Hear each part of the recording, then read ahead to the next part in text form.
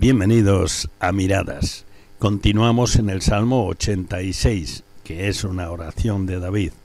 Y como es bastante largo, leeremos los diez últimos versículos antes de comentar tres de ellos. Los versículos 8 al 17 del Salmo 86 dicen así, Oh Señor, ninguno hay como tú entre los dioses, ni obras que igualen tus obras.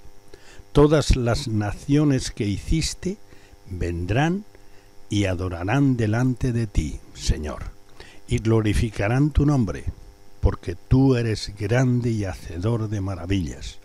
Solo tú eres Dios. Enséñame, oh Jehová, tu camino. Caminaré yo en tu verdad. Afirma mi corazón para que tema tu nombre te alabaré, oh Jehová, Dios mío, con todo mi corazón, y glorificaré tu nombre para siempre, porque tu misericordia es grande para conmigo, y has librado mi alma de las profundidades del Seol.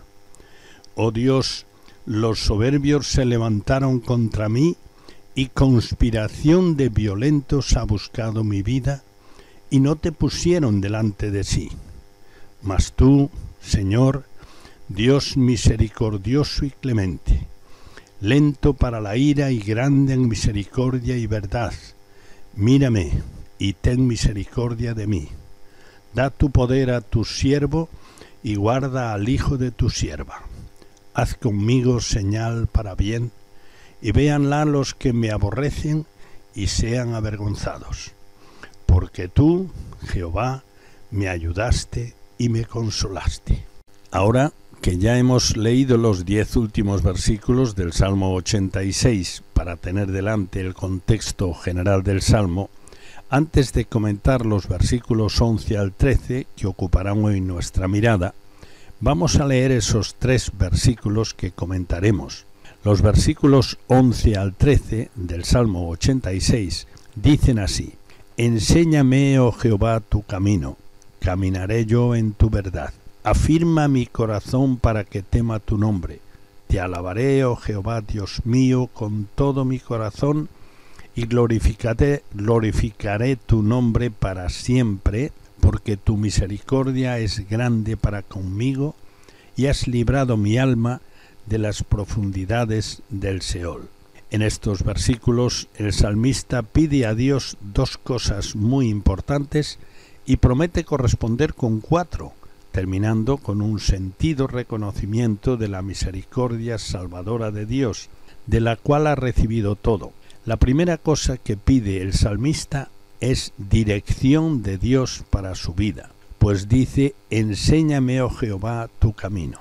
Como es natural, esta enseñanza de ser día tras día, porque gracias a ella el salmista promete caminar recto sin desviarse de la palabra de Dios, pues dice, caminaré yo en tu verdad.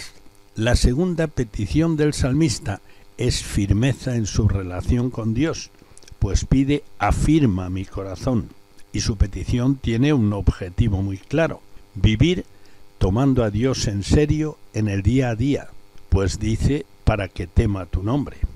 Seguidamente el salmista vuelve a la alabanza sincera y entusiasta de nuevo, teniendo una poderosa razón para ello, la misericordia que Dios le mostró salvándole, pues dice, Te alabaré, oh Jehová Dios mío, con todo mi corazón, y glorificaré tu nombre para siempre, porque tu misericordia es grande para conmigo, y has librado mi alma de las profundidades del Seol. Nosotros alabamos a Dios por las mismas razones, porque su misericordia, que no merecíamos, nos ha alcanzado y nos ha salvado. Hasta una próxima mirada. Dios te bendiga.